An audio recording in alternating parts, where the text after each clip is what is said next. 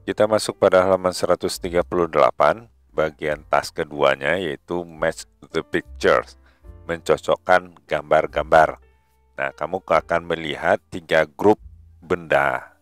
Ya, eh, benda yaitu gambar, nama dan deskripsi dari tools di Photoshop.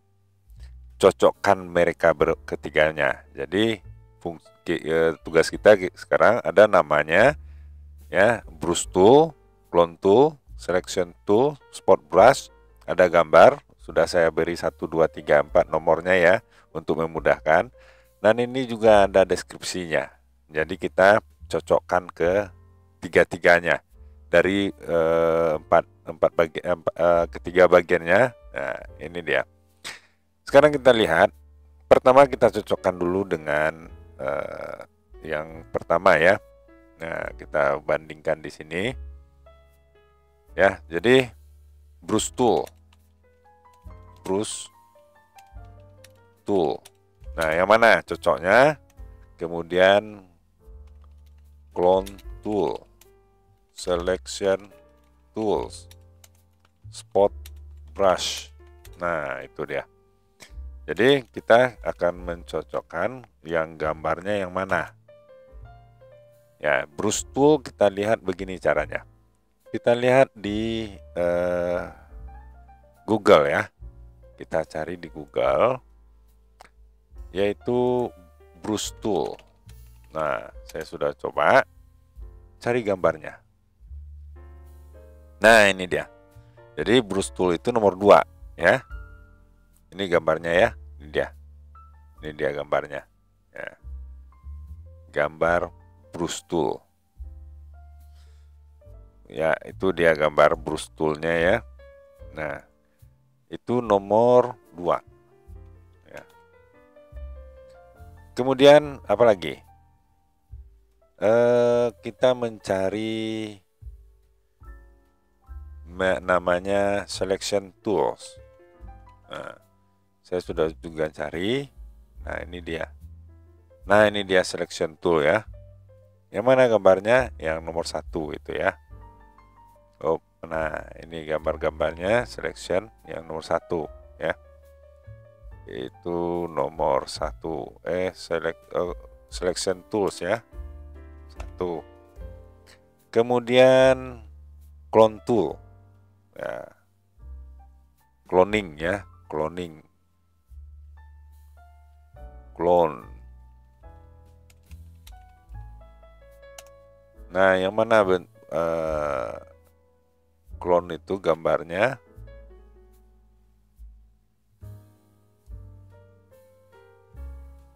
Nah, ah ini gambarnya nih, ya, bentuk stempel ya, yang berbentuk stempel ini. Clone tool berbentuk stempel. Mana dia ber, ah ini dia, ya, ini dia, ini dia clone tool. Ya, jadi kita nomor berapa itu yang berbentuk? Nomor 4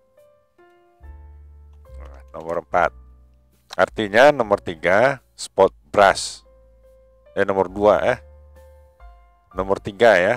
Nomor 3 kita cari apa nomor 3 ini spot brush ya. Spot brush. Spot brush nah yang mana ini dia ini dia ya nah ini dia spot brush gambarnya. Oke, kita nomor berapa itu? Nomor tiga ya. Nomor tiga sudah dapat. Kemudian kita mencocokkan dengan yang eh, apa namanya? pengertiannya lagi. Ya, pengertian ya, deskripsinya. Kita terjemahkan terlebih dahulu ya kita terjemahkan. Jadi yang pertama ya alat ini adalah salah satu uh, alat fungsi dasar ya paling dasar di Photoshop. Ya. Dengan alat ini bisa mem langsung membuat anda fokus kepada sebuah area dari sebuah gambar.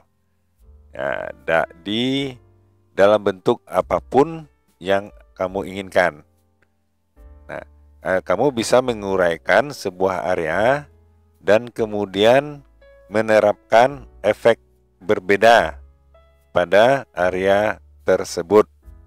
Nah, katakanlah uh, kamu memiliki sebuah gambar seseorang yang berdiri dengan uh, backgroundnya sebuah rumah atau langit. Nah, kamu bisa menguraikan objeknya itu di area persegi panjang, area elips, elips itu seperti telur ya, bulat telur dan e, cara lainnya.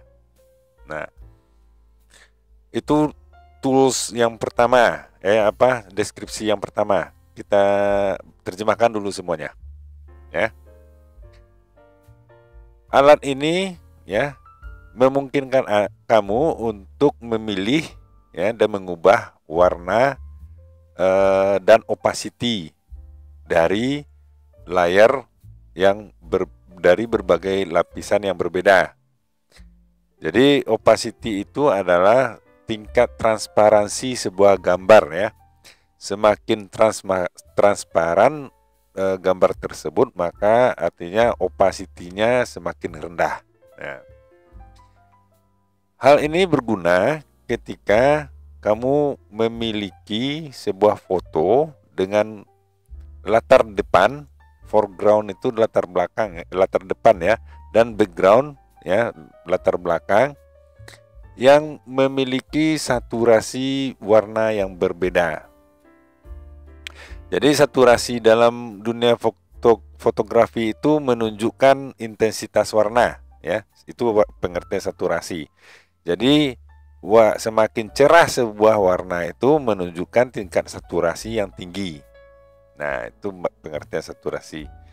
Jika kamu men, men, uh, menjenuhkan ya seluruh gambar, mensaturasikan seluruh gambar, uh, latar depan mungkin terlalu satura, saturasi, terlalu jenuh, terlalu putih ya, atau sebaliknya mungkin terlalu uh, gelap sehingga kamu ingin mengisolasi satu atau bagian tertentu. Kamu bisa menggunakan tool ini, alat ini pada area yang kamu ingin yang kamu ing, uh, ingin hapus ya untuk menonjolkan warna uh, warna gambar pada area ter, tertentu itu saja yang telah kamu pilih itu. Nah, itu fungsi dari tools tersebut. Kemudian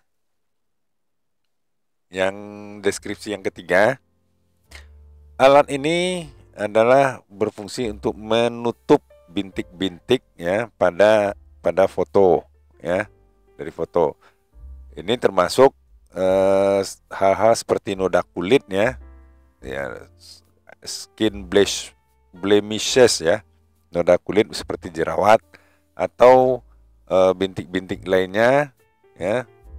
Di sekitar foto, di sekitar foto yang tidak ingin uh, kamu masukkan ya, jadi ingin dihilangkan. Tool ini uh, berfungsi dengan baik pada area di mana kamu bisa um, war, uh, memblurkan atau menye, memburamkan atau menyamarkan warna yang sama ke tempat yang ingin kamu hapus ya. Seperti kulit atau langit nah. Jadi contohnya ya seperti tadi untuk menghilangkan bintik jerawat di, di wajah. Nah itu dia fungsi toolsnya. Kemudian yang deskripsi yang terakhir tool ini berfungsi untuk menggunakan menggandakan menggandakan uh, area gambar tertentu. Ya, bayangkan jika kamu memiliki sebuah foto, ya foto pemandangan dari jendela dan satu area tepi jendela tersebut berantakan atau kabur. Nah, kamu bisa menggunakan tool ini untuk memilih area yang e, bersih dan tidak berantakan kemudian melapiskannya di atas area asli uh, untuk memperbaiki uh, area yang kabur tadi. Nah, itu dia uh, fungsinya ya. Nah, yang mana yang fungsi-fungsi tersebut? Nah, ini kalau apa ya? Kita lihat caranya yang gampang menurut saya ini kita masuk kepada Udemy ini ya. Kalau kalian ragu, misalnya tidak tahu arti masing-masingnya itu, kalian masuk ke Udemy ini. Nah, kalian masuk ke Udemy ya. Copy saja. Ya. Copy saja. Apps. Oh, pantas. Ini ada ada ah ini dia. Nah, kemudian apa-apa saja kata-kata yang yang digunakannya. Yang pertama. Bruce Tool. Kita lihat Bruce Tool. Ya. Bruce Tool. Nah, ini dia. Mana kata yang sama? Let you select an alter ya. Let you select an alter. Nah, alter eh, kalau opacity kak opacity kak tadi ya. Nah ini dia. Ya. Ini yang deskripsi nomor 2 jadi Bruce Tool itu ya Bruce Tool deskripsinya nomor 2 deskripsi ya nah, nomor 2 nah, kemudian apa lagi clone tool kalian cari clone tool clone. Nah, ini dia. Replicate area ya, adopt replicate area of image, imagine uh, Nah, ini imagine you have four. Nah, ini dia. Imagine you have a photo.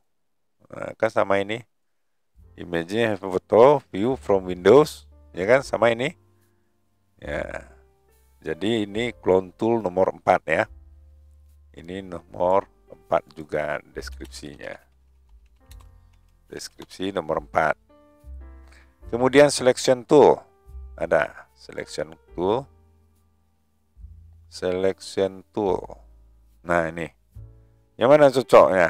Basic function. Nah, ini nomor satu ya. Basic function. Allowing to within image apply different effect. Ya the, nah ini different effect ya different effect that particularly area ya nah jadi ini selection tool nomor satu ini ya selection tool ini juga nomor satu deskripsinya artinya sport brush juga nomor tiga